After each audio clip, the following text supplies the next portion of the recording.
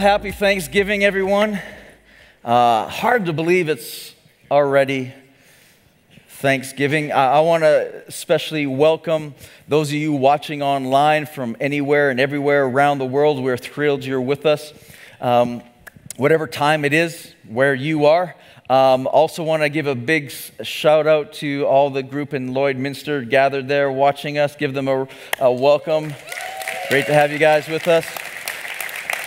Happy Thanksgiving to you. If you're outside of Canada, it's Thanksgiving in Canada. I, I got to be uh, honest before we get into the message. I, I struggle with holidays like this as a pastor. I, I can't say that I, I love Thanksgiving. I mean, who wouldn't love turkey and stuffing and pumpkin pie and all. I can't talk about that much more. You all tune me out and be rushing out here. But I mean, who, who wouldn't love Thanksgiving? But I, I have no problem with, with that Thanksgiving at all. The problem that I have is I've been pastoring for 18 years now, and uh, that means that I have preached 17 so far, 17 Thanksgiving messages. And anytime that it comes to you know this time of year, and you're thinking it's Thanksgiving weekend, it's kind, you're kind of stuck in a rut and told you know you got to teach on Thanksgiving. And so every time a holiday like this comes up, Christmas comes up, I love Christmas too. Don't get me wrong. It's just that it's hard to prepare for messages because I mean, how many times can you preach Thanksgiving. Yes. And uh, yeah. And so I struggled. And, and you know, I, I was born and raised in Canada and, and um, love Canada. Uh, but my mom was American, and so we celebrated two Thanksgivings because, I mean, it's an extra excuse for turkey. It's beautiful. But I got, I got to confess something to you. I much prefer American Thanksgiving.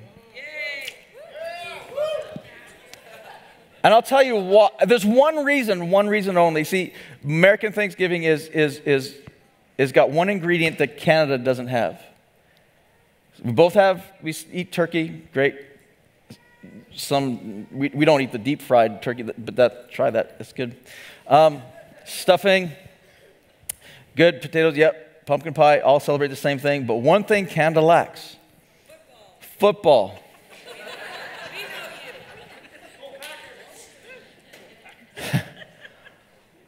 I mean, turkey doesn't taste right if it's not watching football. Just saying. now that I got my confessions up, I'm going to talk about Thanksgiving. And you're all excited now. Because this is take 18. I went back and, and, looked at all the old ones, uh, all the old messages, and I was like, man, nothing inspired. I'd like new, fresh, something, you know. I went back and looked and I was like, Ugh. And, and I mean, granted, we, we, we tried as the creative team, we tried to come up with a whole bunch of different things. You know, horn of plenty, nah, it's not going to work today. Um, we tried a whole bunch of different ideas and creative things, and, and it's like nothing. And they just look at me and they're like, It's up to you, Pastor Kelly. and so reluctantly, I kind of went to work and began working on a message for Thanksgiving. And actually, I stumbled across a story in the Bible. And it, as I studied it and looked at it a little bit more, and you know, I saw the gratitude part of the story, I, I began to realize I, I, saw something, and I saw something that, that I got really excited about. And in fact, I'm really, really excited about this message, and I really think it's going to help all of you. And it's, it's, it's rocked my world. I had, uh, even in the studying it, I had to get up a number of times and just go for a walk because my brain was kind of, I'd never seen this before, and it messed with me, so now I'm going to mess with you. Is that okay? You're so trusting. We're going to call this one Lesson from the Lepers. And this is, this is the creative team's idea. This is what the creative team thought. They thought we should have a potato, Mr. Potato Head up here with, with uh, a remote control that my wife would control, that every once in a while she just pushed this button and the ear would pop off. and then the nose and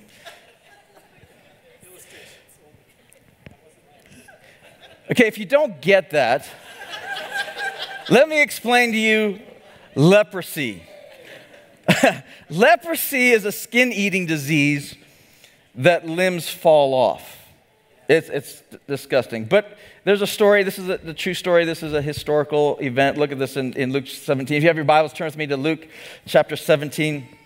It says this that it happened it happened that as he made his way, he being Jesus, made his way towards Jerusalem, he crossed over the border between Samaria and Galilee. Again, it's giving us, giving us true events, giving us historical events as to, as to where he was, what part of the journey he was, uh, and because this is history. This is not fairy tale, this is history. As he entered a village, 10 men, all lepers, met him.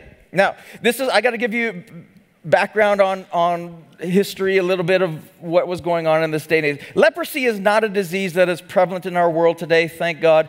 It is still around, it, you know, but we do have cures and ways to, to overcome it.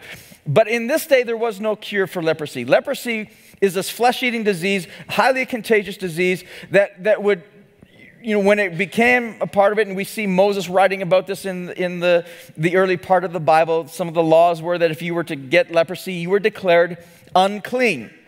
Unclean meaning contagious. And you were quarantined outside of your city, and you lived in this little leprous village. And for the rest of your days, because it would eat your flesh away, you know, bit by bit until, you know, for years until you would die, for the rest of your days, you were confined to this quarantine of a group of lepers. You weren't able to have contact with your family, you know, because you were contagious. You, weren't, you wouldn't be able to, to work or be employment. You were kind of totally at the discretion of, of the city and what everybody would do that. So when Jesus, when you'd enter into a town, it's not unusual to enter into a town and to have this little village outside of the town, but you would never walk towards it. You would never go towards it because you would be concerned about the, con- contagious, you know, uh, the contagious of part of this, and so you wouldn't do this. Jesus, however, he would go where nobody else would go.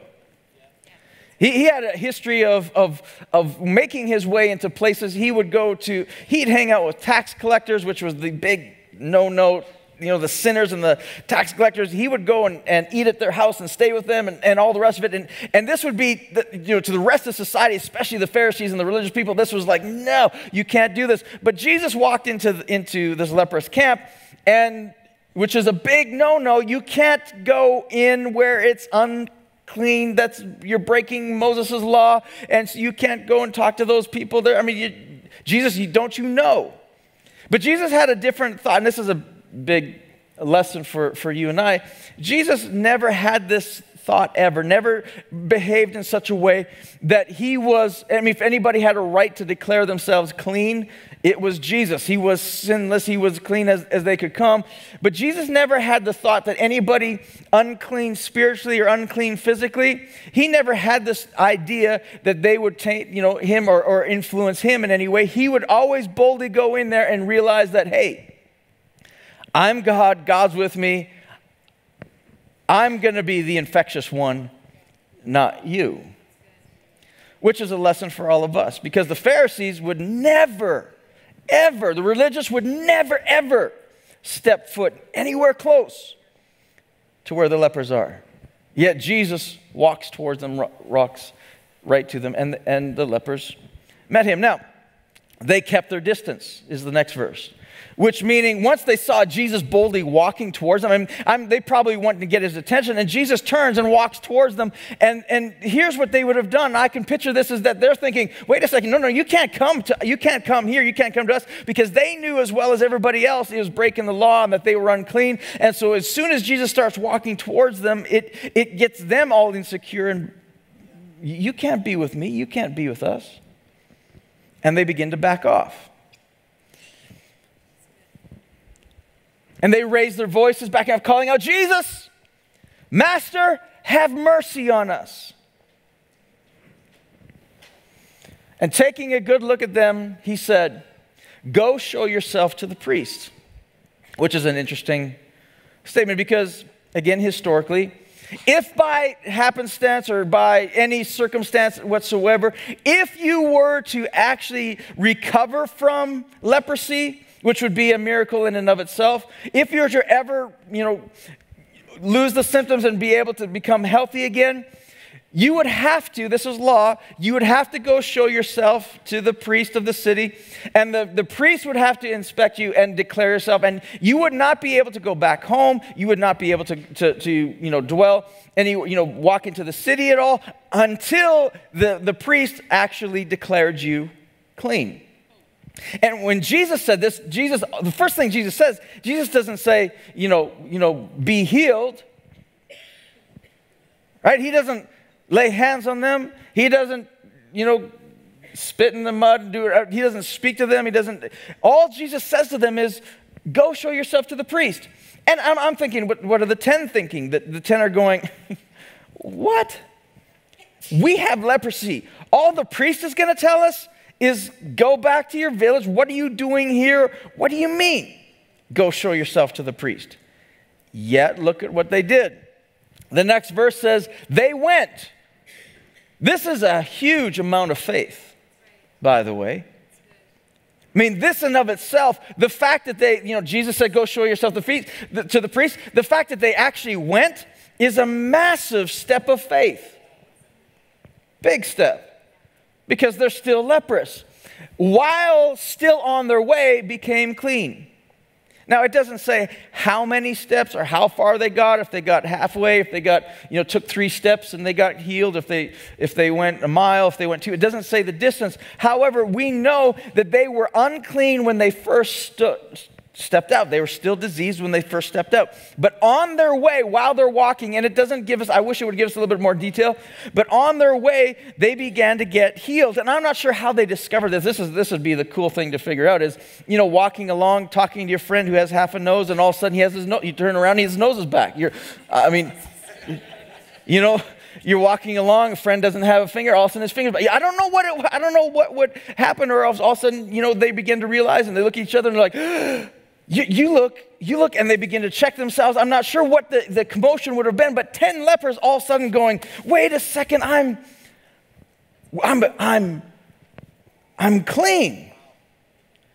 What would the reaction be? I mean, what would your reaction be? You, you're sentenced to, to live separate from your kids, your spouse, your grandkids. You're not allowed to work anymore. You, your friends, you're isolated to this camp of disease, dying people, and all of a sudden, you're healed.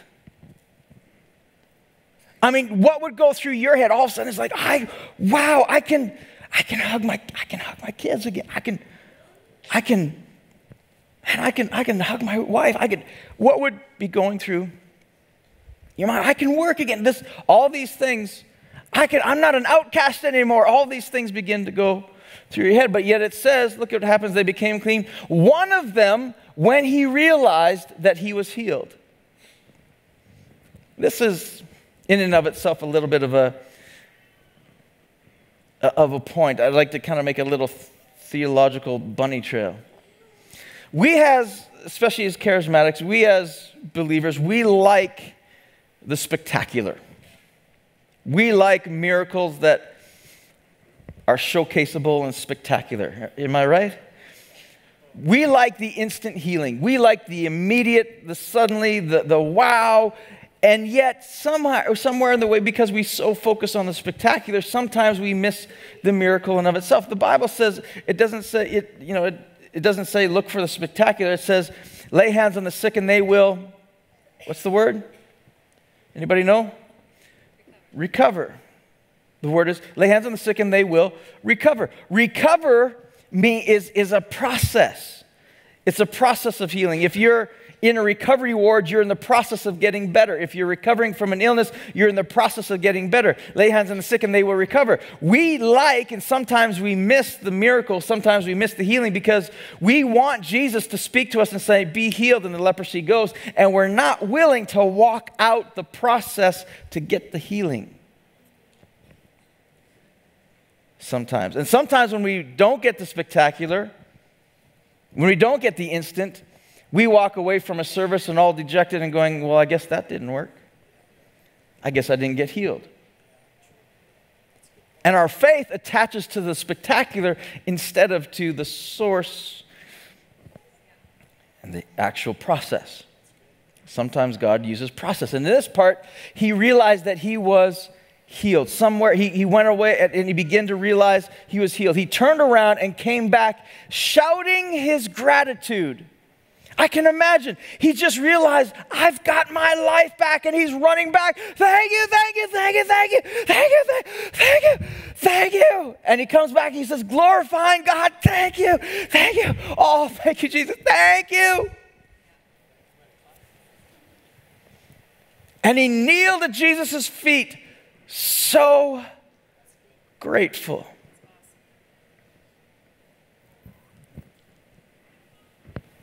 Next verse says, He couldn't thank him enough. Jesus couldn't get a word in edgewise. Thank you, thank you. I use tears and thank you, thank you. Because what's flooding into his mind is everything he's getting back. Everything that he's now going to be able to see. Going to watch his kids grow up. He's going to, he's going to watch them get married. He's going to see He's going to meet his grandkids. Yeah, whatever it is, he's, whatever's flashing through his mind. Thank you, thank you. You just can't, he can't thank him enough.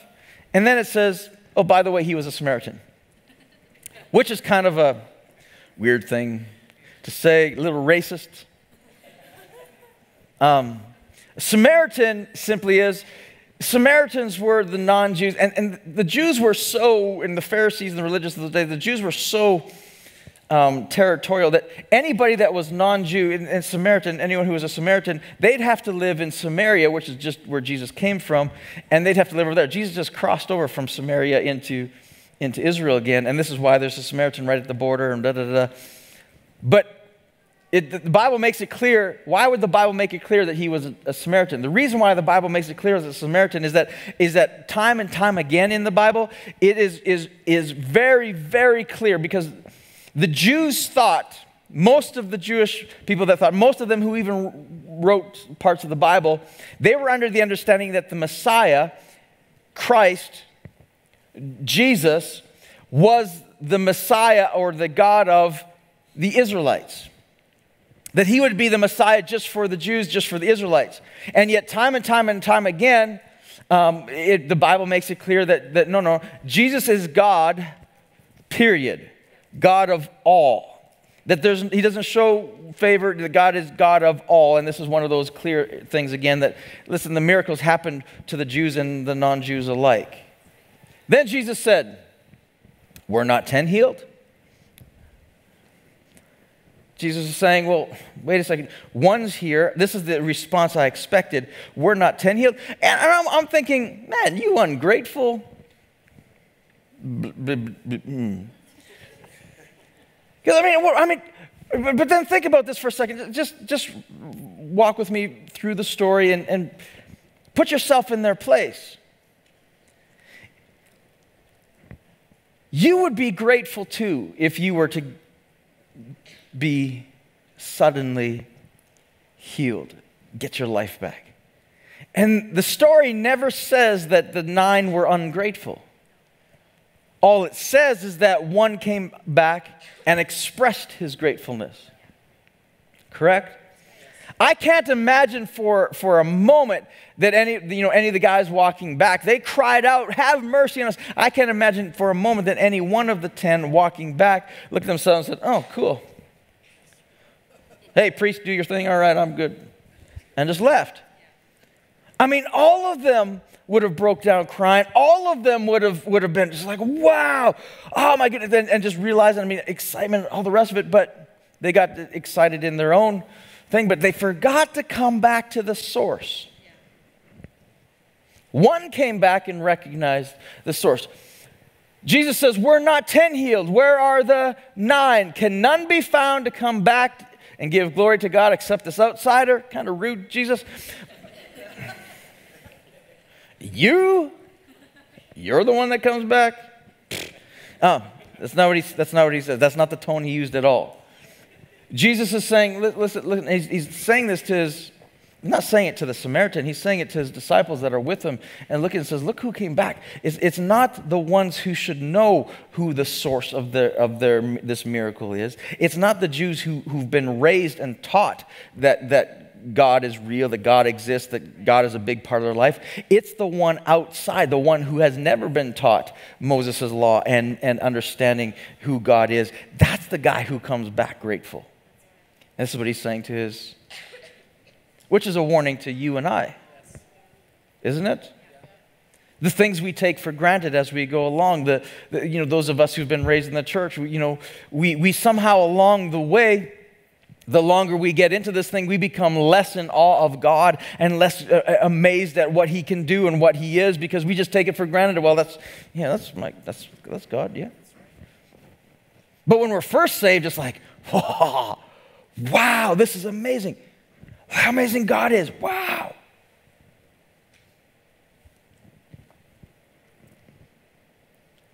Look at this next verse. This is where, this is what rocked my world. This is what messed with my head, and it's going to mess with yours. Then he said to him, Get up and on your way. Your faith has healed and saved you. Now, I use the Message Bible, and, and for this reason is, is the Message Bible just kind of tells it plainly, and it, it's all good. But the reason why I use the Message Bible is because every translation out there, and I looked at all these different translations, and the one I'm most familiar with is, is the one that I was grew up being taught as King James. And in King James version, it says, "Go, your faith has made you whole." And I've always been taught that, well, you know, go and make your faith has made you whole. I was taught, well, wholeness is is you know is part of he was you know healed inside too. And then you know there's you know whatever it was he just he got completely healed. And the other nine you know they got healed yeah but they didn't get whole and completely healed and blah blah blah all the rest of it. And i've heard all these different explanations. And i'm like you know, it's, it's great. I mean other translations said you know uh, go your faith has made you well. And i'm thinking well that doesn't make sense because you know four verses earlier you're healed What's the difference between healed and well? It, it didn't make sense. So we had to look it up and, and, we began to research. Pastor John and I began to research what does it say? What does it look like? What does it say? What does that word actually mean in the original language? Because English sometimes doesn't give us the greatest translation. So I looked up with this word well, you know, healed, you know, uh, whole. What does it actually mean? What is the original language? And the original Greek word is the word sozo. Sozo, for you Greek scholars, simply means salvation. It's the same word used when Paul said in Romans 10 9 and 10, he says, Confess with your mouth that Jesus is God and believe in your heart that God raised him from the dead, you will be saved. Sozo, salvation. Now, this messed with my head. And the reason why it messed with my head is I'm thinking, wait, wait, wait, wait, wait, wait. The message Bible is right, that kind of mess. But wait, wait, wait, wait, wait, wait, wait, wait, wait, wait, wait. Saved? You mean, you mean, you mean saved from sickness, don't you, Jesus? No, no, he says, he says, you've been healed, but now you get salvation. And I thought, well, salvation, that can't be right. Because salvation to me, well, you got to pray this prayer, you got to attend church, you got to do this thing, you got to you got to place God in your life. I mean, he didn't even acknowledge you know, who Jesus was. He didn't, he didn't, I mean, he's not saying anything. He's just, salvation? Jesus, you gave this guy salvation. And it made me begin to think and, and meditate on some stuff. And, and I began, it reminded me actually of a story of Jesus at Zacchaeus' house. Jesus, you know, Zacchaeus was a tax collector and, you know, an outcast. And Jesus goes, nobody wanted to do any, have anything to do with the tax collectors. These guys were, you know, hypocrites and they were traitors and all the rest of it and hated and wealthy and, and which made them even more of a target. And, and they would flaunt their wealth and irritate everybody else because they were making their wealth, charging whatever they wanted from everybody else, stealing from everybody else. Everybody hated them. Yet Jesus went to Zacchaeus' house for, and said, I'm going to your house for supper. And this was, you know, anytime you went for somebody's house for supper, this is a validation of our friendship, we're good, everything's all good. And, and so when Jesus went there, the, the, the, Pharisees and all the religious people are like, why is he, what is he doing? You know, doesn't he know who he is? But yet in the process of the meal, all of a sudden at the middle of the meal, Zacchaeus, I can picture him slamming his fork down on the, the table and going, you know what, I'm going to give half of my money away. I'm going to give everything I owe back to the poor and I'm going to, I'm going to give away half of my, my income. And Jesus' response is, is today salvation, sozo, has come to this house. And I'm thinking, that verse, that, that, that passage messes me up because I'm thinking, uh, you know, so you, have, you can buy your way in? That's not right. So, I mean, he, so he gives some money away?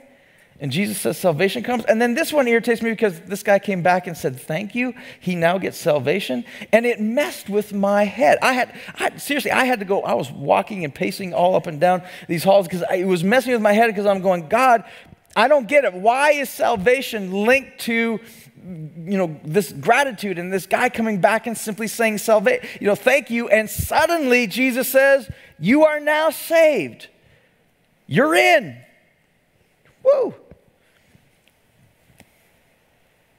It's crazy. So I had to begin thinking, I began meditating on, well, what is, what is gratitude then?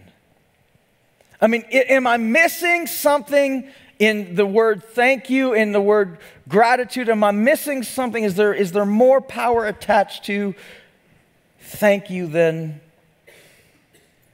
maybe I realize? And maybe there's something more attached to thanksgiving than turkey and football, as hard as that is to understand. there might be something more. Now, I began to research gratitude. What is gratitude then? What, what is it? What's it about? And I came across this study the Harvard Medical Center um, uses, a Harvard Mental Study, and this, this is what it says. Part of it said this Gratitude is a thankful appreciation for what an individual receives. Duh. You got to go to Harvard to figure that out, you know? I'm like, okay. Whether tangible or intangible, okay, they, they can use big words, cool. Okay, with gratitude, now watch this. With gratitude, people acknowledge the goodness in their lives, okay? In the process, people usually recognize that the source of that goodness lies at least partially outside themselves. As a result, gratitude also helps people connect to something larger than themselves as individuals, whether to other people, nature, or a higher power. And I went, wait a second, this is exactly what happened to the 10th leper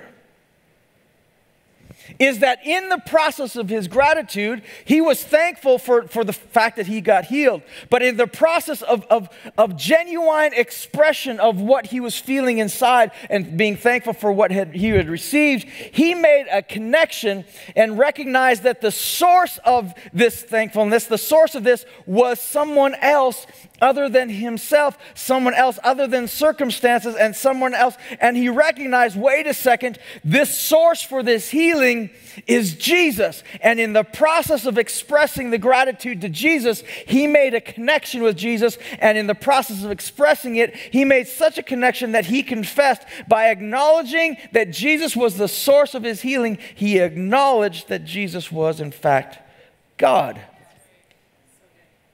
which equals salvation. And I thought, wait, wait, whoa, whoa. So you're saying that, that gratitude is, is, it recognizes that there's a source outside of myself for what I have. In other words, ingratitude is the great is the most selfish thing ever. Ingratitude equals selfishness, in essence. Because a lack of gratitude or, or you know, ingratitude is saying that I, I get where I am. I don't need anybody. These are just circumstances, happenstances. I don't need to be grateful for this. I deserve this. I get this. It's the most inward, self centered, selfish thing, which is the identical. Basically, it's saying, I'm my own God.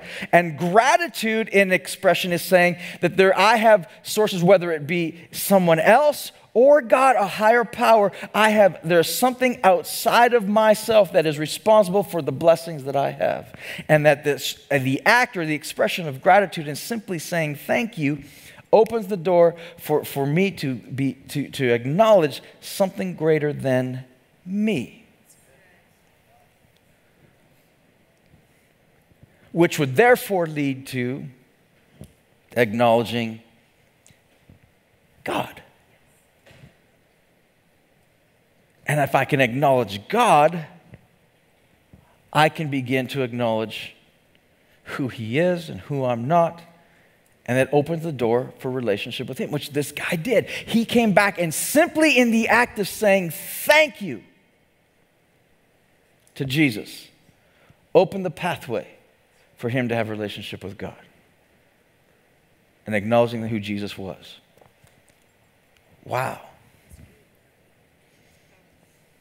Now, the other thing that happens, this is, this is what I was wrestling with. I was like, well, okay, does the other nine not thankful? No, no, no. The other nine were extremely thankful. They received the same healing. The only difference was salvation didn't come to them because they didn't recognize the source of their healing. They didn't express the source of it. They received the same benefit. And in life, this is what it is. All of us receive the same benefit God gives to us, regardless of what we deserve or not deserve, whether you follow Him or not. God gives you blessings and gives you things. The difference in salvation is simply acknowledging you recognize the source of your blessings and of your life and of that is, and that you are, that God can do more than just you.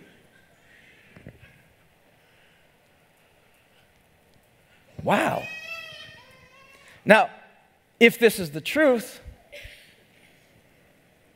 then I had to go and find well, does the other scripture say this? Does the Bible say this somewhere else?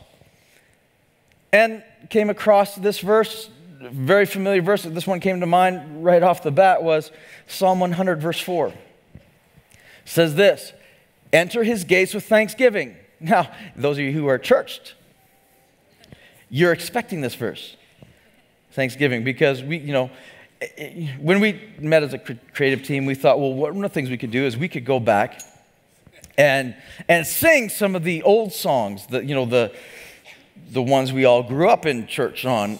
Um, one of them is, Enter his gates with thanksgiving in the heart. I will enter his gates. No, Another one was, Give thanks with a grateful heart. No. We had another one was, Thank you for giving to the Lord. No. A lot of you look at me with blank faces. Listen, one thing, if you're not thankful for anything this Thanksgiving, if you don't know any of the songs I just sang, be thankful.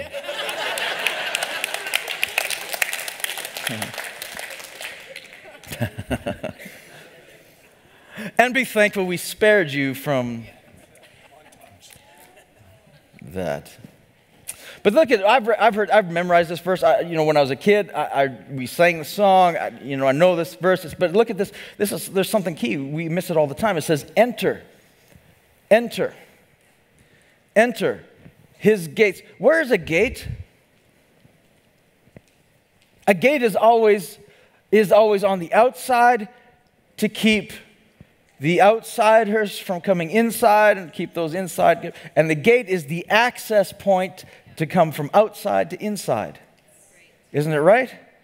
And it says, enter that access point, enter enter his gates enter the outer court the outer place where of god the way you get in is with the password thank you that simply by saying the word thank you, it's a password into acknowledging who God is. Because the moment you say, oh, thank God,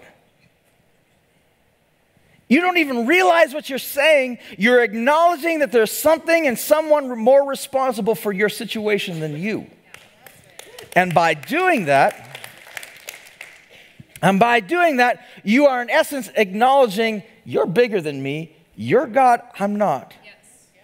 And it is an enter in, it's the way to access, the way to get into. That the, the leper coming up and saying thank you to Jesus, when he just by saying thank you, thank you, thank you, by doing this, he entered into the gate, right into the, where God's presence is. Some of you are saying, well, I, you know, I don't know, I don't know how to access God. I don't know, I don't ever hear from God. How do I even know if God is real? Let me tell you the way in, the password is thank you.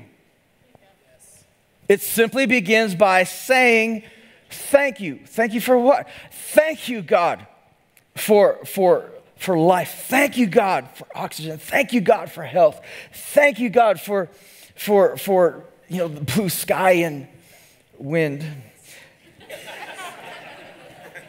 Maybe not wind, but thank you, God, for, for this, the trees and the, and the, and the, and you know, the mountains. Thank you, God. If, listen, the, the moment that I was just like, thank you, God, thank you, God, was in the birth of our children. Every, when they come out and going, wow, wow, God. Thank, wow. Thank you.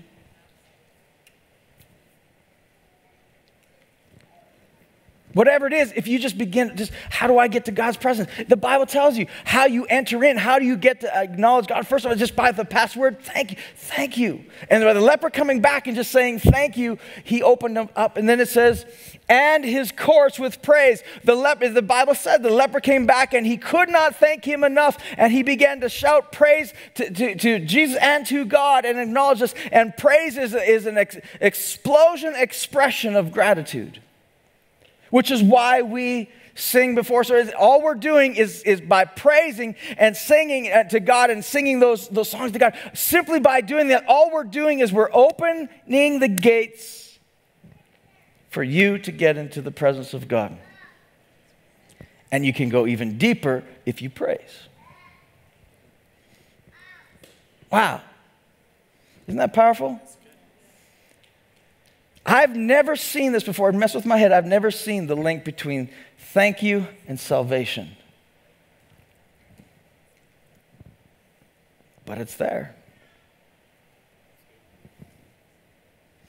Today's takeaway is, is simply this gratitude is acknowledging that someone did something for me that I could not do for myself. Gratitude is simply acknowledging that someone did something for me that I could not do for myself. Gratitude to God is simply acknowledging God, without you, I, I, couldn't do what, without you creating me the way you made me, without, without you, I, I, I couldn't do it. The opposite of gratitude is selfishness. And here's what, here's what I want you to see. I, I got to confess something to you. I, I, have a problem. And my problem is, is that when I go to prayer, I've somehow, and I'm challenged even in this, in this message. That's why I had to go for a walk, because I was messing with me. Because most of my prayer life, if I'm to be honest, is, is requesting from God and saying, God, you know, you owe me, I, I deserve, you know, please give me, help me, God. And I'm, I'm sitting there just kind of take, take, take, take from God.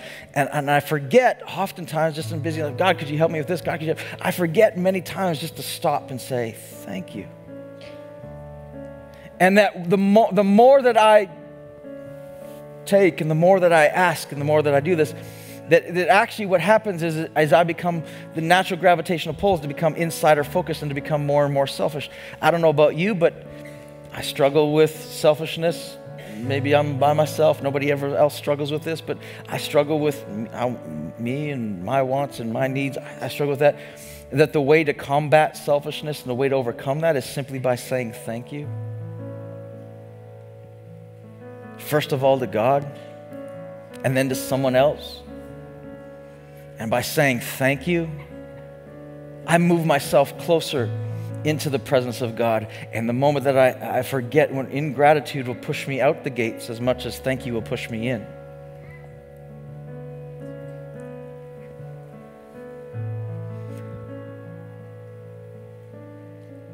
Robert Emmons, a university professor at University of Cal- California, said this so much of gratitude is about one's perspective and framework for looking at the world in itself.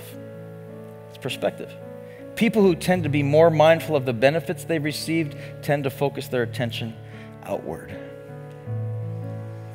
And that the moment I begin to say thank you, the attention goes from me outward. And I suddenly become aware of where you put your focus, you empower. Whatever you focus on, you empower, you give power to. And that if I if I put my focus on, on gratitude and just saying, Thank you, God, I'm empowering God in my life. And if I don't, it removes it. Now, I'm challenged, and I, I want you, I, I'm going to do something this week, and I'd like all of you to join with me. But could, for one week, I, I want to do a, a gratitude journal. And that is just in the morning, I just want to begin to write down and begin to write down some of the things that I'm thankful for and thank God, thanks, you know. And in the process of writing down some of the things we're thankful for, someone might come to mind that, man, I, I need to thank this person. Uh, man, I, I, need, you know, without this person, I wouldn't be able to do this. Or without, you know, without God, I wouldn't be able to do And, and in the process of doing this, if you could just write a gratitude journal, it's the greatest expression of worship ever. That worship really is simply saying thank you and acknowledging that someone did something for me that I could not do for myself. Gratitude also expresses our vulnerability and our dependence on God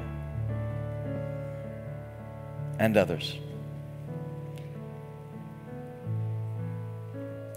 Now, I couldn't preach a message like this without giving us an opportunity to express and to enter into God's presence. If you're, if you're here this morning and you don't know Jesus or don't have a relationship with Him, listen, you don't have to know all the theology and all the backdrop, just like the Samaritan wouldn't have known. All you need to do is begin by saying thank you. Saying, well, I don't know, I don't understand it, I don't know if I got it. Just, just begin by saying thank you. And we're going to give you an opportunity right now. We're going to, I'm going to invite the team to come. We're going to, we're going to express thank you to our God because the power, the power in thank you is amazing. Let's sing this together. If you're here this morning and you're not sure if you have a relationship with God, or maybe you are sure you don't, but you'd be interested in having one, it's we all receive the same thing. It's the one who confesses with his mouth that Jesus is God. And in essence, that's what the leper did. He simply confessed with his mouth that Jesus was the source of his healing, of his blessings, and was therefore God. And if you believe in your heart that God raised Jesus from the dead, you will be saved and begin relationship with God. I'm going to lead us in a prayer that's going to confess with our mouth that Jesus is God. And if you've never prayed this prayer before, I encourage you to pray it with me with all your heart and your meaning. I'm going to invite all of us to pray this together. Let's pray this together.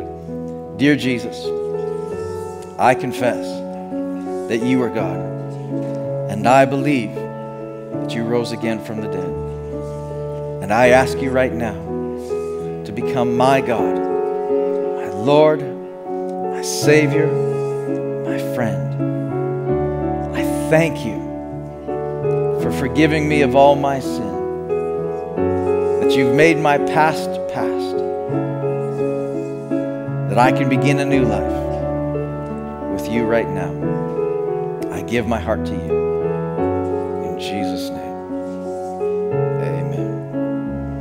You prayed this prayer for the first time, I don't want to embarrass you or call you out. If you prayed it for the first time, I'm going to ask everyone to keep their eyes closed and heads bowed. If you prayed it for the first time, just look up and make eye contact with me and give me a little wave and saying, Yeah, Pastor, I prayed this for the first time. I want to begin a relationship with Jesus. Thank you. Thank you. I'm going to look around one more time, make sure I didn't miss anybody. We have Bibles for anybody who would like it. If you prayed this prayer and want to know what this relationship with Jesus is all about, you can go into our lobby and at the table there, uh, in front of the television screens there, there's, there's free Bibles. Feel free to go and take one. Enjoy this journey with Jesus. Isn't our God good? Thank you, Jesus.